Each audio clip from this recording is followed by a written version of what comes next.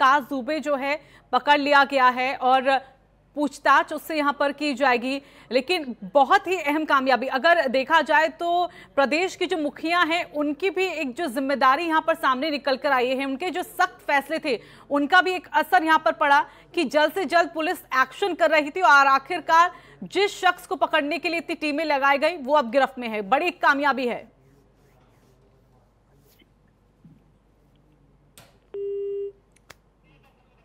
चल लगता है कि गगन मिश्रा हमारे साथ हमारे सहयोगी जुड़ गए हैं, अमित दुबे भी हमारे साथ जुड़ गए हैं। सबसे पहले गगन आपका रुख करना चाहेंगे।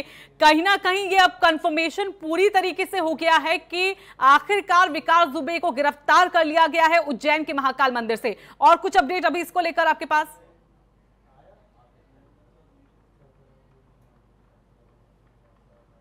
बिल्कुल लगभग सरकार ने भी इसकी पुष्टि कर दी है उत्तर प्रदेश सरकार ने भी और जो अंदर खाने से खबर आ रही है कि गृह गृह विभाग ने ये पुष्टि कर दी है कि वो विकास दुबई है और साथ साथ उत्तर प्रदेश मध्य प्रदेश के गृह मंत्री नरोत्तम मिश्रा ने भी इस बात की पुष्टि कर दी है जो महाकाल में जिस व्यक्ति ने खुद को सरेंडर किया है हम इसे सरेंडर ही कहेंगे क्योंकि वो स्वयं जाकर बताता है कि मैं विकास दुबे हूँ और उसको वहाँ के सुरक्षाकर्मी ले जाते हैं तो वो विकास दुबे ही है ये पुष्टि हो चुकी है। मध्य प्रदेश पुलिस ने उसको गिरफ़्तार कर लिया है। उत्तर प्रदेश पुलिस की एक यूनिट और एसटीएफ की एक यूनिट वहाँ पहुँच रही है। लेकिन सबसे बड़ी बात है कि भले ही इसे पुलिस ने ना पकड़ा हो लेकिन पिछले दिनों जिस तरह से कानपुर रोकना चाहेंगे गगन रोकना चाहेंगे गगन रोकना चाहेंगे आपको? प्रारंभ से जैसा बाल्यकाल से इसका जीवन आया है? बचपन में भी खून से हाथ धोने वाला बताते हैं। लेकिन मध्य प्रदेश की हमारी जाबाज पुलिस है। ये इतनी नृशंस हत्या और की घटना जो हुई थाने वाली उसके बाद से ही हमने पूरी मध्य प्रदेश को पुलिस को अलर्ट किया हुआ था। अलर्ट मोड पर मध्य प्रदेश था। जैसे ही संदेह हुआ तो उज्जैन में महाकाल मंदिर से हमने गिरफ़्तार कर लिया है उसको। हाँ, सर बड़े कोऑर्डिनेशन हुआ था हाँ अभी भी हमने यूपी को सूचना दे दी है। यूपी पुलिस आएगी उसके बाद में हम डिटेल बताएँगे आपको। हेलो। तो नरोत्तम मिश्रा को आप सुन रहे थे, उन्होंने सीधे तौर पर कहा कि जो शख्स पकड़ा गया है, उज्जैन के महाकाल मंदिर से, वो विकास दुबे ही है और इसको लेकर पूरी जानकारी यहाँ पर अब यूपी को दे दी गई है, यूपी एसटीएफ को दे दी गई है। उन्होंने कहा कि पहले से ही हालाँकि इनपुट्स इसको लेकर मिले थे कि एमपी में विकास दुबे आ सकता है, यूपी से जिस तरह से फरार हुआ है और ऐसे में अब ये पूरी तरीके से साफ़ हो गया है कि विकास दुबे की गिरफ्तारी हो गई है। अमित दुबे भी हमारे साथ, हमारे सहयोगी जुड़े हुए हैं, उनका रुख कर लेते हैं। अमित, लगातार अपनी लोकेशंस बदली गई। यूपी से वो फरीदाबाद दिखा कल, फिर दिल्ली एनसीआर को लेकर ज़िक्र कहा जा रहा था, नोएडा में भी कहा गया, तस्वीरें देखी गई, और आखिर में जाकर एमपी में मिलता है उज्जैन में, महाकाल मंदिर में। लगातार लोकेशन अपने बदलने वाला, अब सवाल ये उठ रहा है कि आखिरकार इतनी जल्दी जल्दी लोकेशंस कैसे बदल ली, बिना किसी मदद के? जी बिल्कुल देखिए यही ये सबसे बड़ी बात है खासतौर जिस तरह से वो फरीदाबाद में देखा गया था और फरीदाबाद में देखे जाने के बाद न सिर्फ़ फरीदाबाद बल्कि दिल्ली पुलिस और यूपी एसटीएफ की भी टीमें आई हुई थी पूरे हम्म। यूपी के पिछहत्तर डिस्ट्रिक्ट अलर्ट पे थे फरीदाबाद पुलिस अलग से अलर्ट थी हरियाणा पुलिस के साथ में दिल्ली पुलिस की भी, भी स्पेशल टीमें जो थी वो अलर्ट पे थी और उसके बावजूद साढ़े सात सौ किलोमीटर दूर उज्जैन में उज्जैन तक वो पहुँच जाता है और उस बीच उसकी कोई गिरफ्तारी नहीं होती है यानी कहीं पे भी किसी कोई शक सुबह नहीं होता है।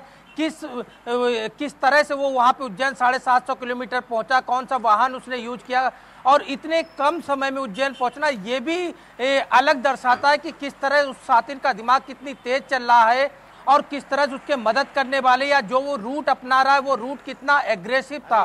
अब हालाँकि ऑफिशियल पुष्ट हो चुकी है जिस तरह से उज्जैन में उसकी गिरफ्तारी हुई है लेकिन बड़ी चीज़ ये भी है कि सावन का महीना चल रहा है और खासतौर पर उज्जैन में ज़रूर उसके साथियों ने सलाह दी होगी या ए, उसके दिमाग में इस तरह की बात आई होगी कि उज्जैन में महाकाल के दरबार में जाके अगर वहाँ सरेंडर करते हैं हम्म। तो हो सकता है कि ए, उसके बचने के थोड़े बहुत चांसेज हो ऐसा उसके दिमाग में ज़रूर आया होगा।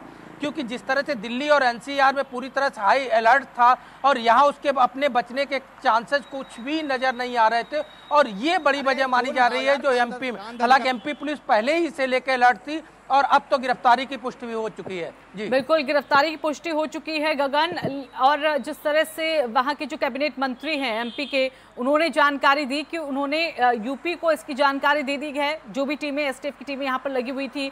अभी कुछ इनपुट्स वहाँ से मिल रहे हैं, कुछ इन्फॉर्मेशन वहाँ से कि यूपी की जो टीम है, वो एमपी जाएगी और वहाँ से फिर विकास दुबे को लाया जाएगा या फिर एमपी की पुलिस ही यूपी में लाएगी और फिर यूपी पुलिस को दिया जाएगा उसे।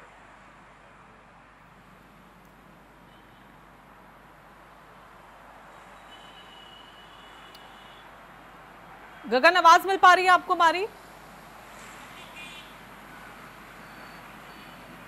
हाँ बिल्कुल देखो अभी अभी गृह विभाग प्रमुख सचिव गृह ने अवनीश अवस्थी ने ये पुष्टि कर दी है कि वो जो हम्म। पकड़ा गया है वो विकास दुबे है और उसको अब कानपुर की टीम और उत्तर प्रदेश पुलिस की टीम एमपी जा रही है जहाँ से उसको ट्रांजिट रिमांड पर कानपुर लाया जाएगा यानी कि अब पूरी तरह से पुष्टि हो चुकी है कि विकास दुबे जो कानपुर मुठभेड़ में जो के ऊपर आठ पुलिस कर्मियों का हत्या के आरोप है जो पूरे कानपुर बिक्रू कांड का मास्टरमाइंड है वो गिरफ़्तार हो चुका है उसने उज्जैन में गिरफ्तारी की है लेकिन इस पर कई सवाल उठते हैं कि आखिरकार जब फरीदाबाद में दावा किया जा रहा था कि वो विकास दुबे है तो वो मध्य प्रदेश कैसे पहुँचा जब मध्य प्रदेश की सारी सीमाएँ पूरी तरह से सील थी सभी उत्तर हम्म। प्रदेश पुलिस और मध्य प्रदेश पुलिस संयुक्त रूप से सीमाओं को सील किए हुए थे तो आखिरकार वो महाकाल कैसे पहुँचा लेकिन राहत की ज़रूर खबर है कि जो जिस मास्टरमाइंड को उत्तर प्रदेश पुलिस की पूरी टीमें लगभग दस हज़ार पुलिसकर्मी ढूंढ रहे थे, वो आज पकड़ा गया है।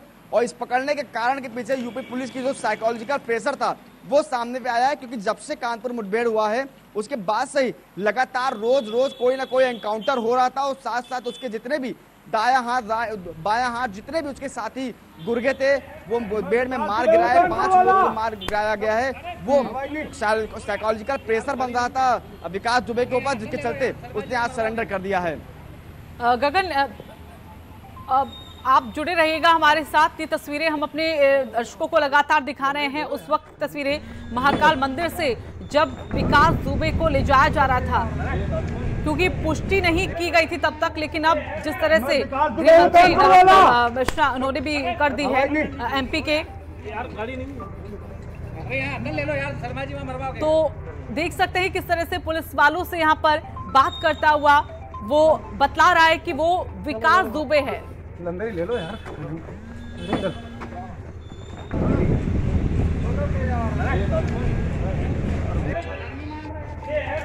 विकास दुबे हूँ कानपुर वाला। हवाई नहीं।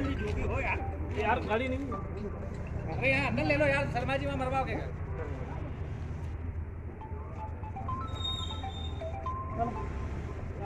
चलो ले लो अंदर ही ले लो यार।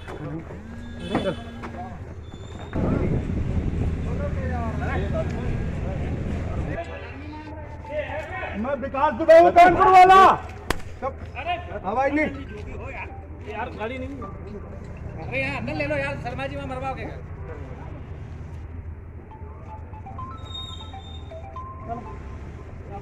चलो ले लो अंदर ही ले लो यार।